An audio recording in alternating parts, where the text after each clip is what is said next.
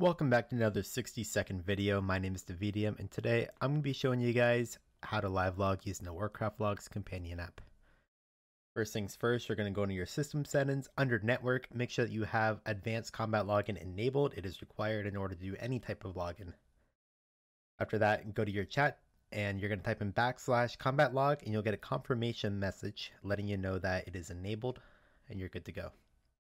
Open up your Warcraft Logs companion app and make sure you are on the live log setting and you're going to type in a description for your report, which will be your title on the Warcraft Logs website. After you have your title, click go and you are good to go. Every single boss that you kill will be automatically uploaded onto warcraftlogs.com. You'll be able to see it whenever you want. That is it for today, guys. Thank you so much for watching. If you enjoyed the video, make sure you like and subscribe. And until next time, guys.